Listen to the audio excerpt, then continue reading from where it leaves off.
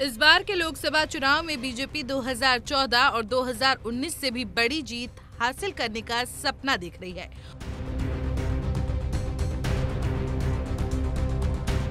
और 400 पार का दावा भी कर रही है।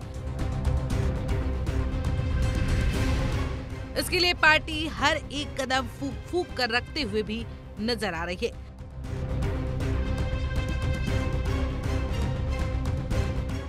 दो हज़ार उन्नीस वाला ही फॉर्मूला फिर अपना रही है।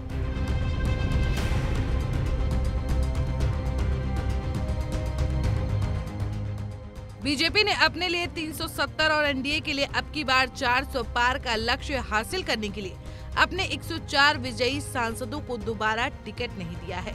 मतलब 100 से ज़्यादा सांसदों को चुनावी मैदान से बाहर कर दिया है।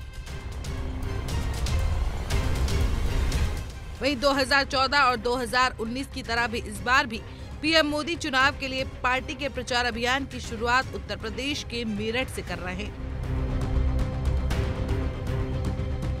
मेरठ से इस बार बीजेपी ने टीवी के राम, यानी अरुण गोविल को चुनावी मैदान में उतारा है। अरुण गोविल ने इस सीट पर लगातार तीन जीत दर्ज कर हैट्रिक बनाने वाले राजेंद्र अग्रवाल की जगह ली है। बीजेपी ने मेरठ से अपना उम्मीदवार तो बदल दिया है, लेकिन इस शहर से चुनाव अभियान के आगाज़ की परंपरा नहीं बदली। सबसे पहले 2014 चुनाव के लिए नरेंद्र मोदी ने 2 फरवरी को अपने अभियान की शुरुआत मेरठ की रैली से की। फिर 2019 लोकसभा चुनाव से पहले 28 मार्च को पीएम मोदी की पहली रैली मेरठ में ही हुई।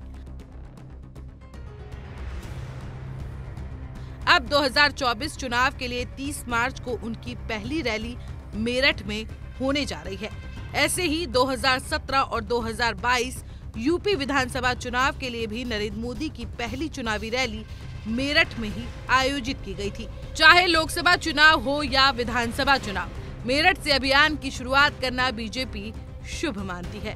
बीजेपी का मानना है कि शुरुआत में मेरठ से मिली मजबूती का असर यूपी के दूसरे कोने पूर्वांचल तक होता है। 2019 लोकसभा चुनाव में बीजेपी के 303 उम्मीदवार जीतकर संसद पहुँचे थे।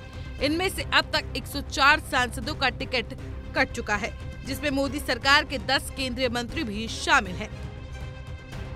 2019 चुनाव से पहले भी बीजेपी ने अपने दो सौ बयासी सांसदों में से 119 के टिकट काटे थे।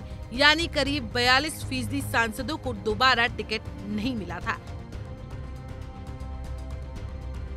इस बार बीजेपी करीब 450 सीटों पर चुनाव लड़ने जा रही है। इनमें से करीब 90 फ़ीसदी यानी कि 402 सीटों पर उम्मीदवारों का ऐलान किया जा चुका है।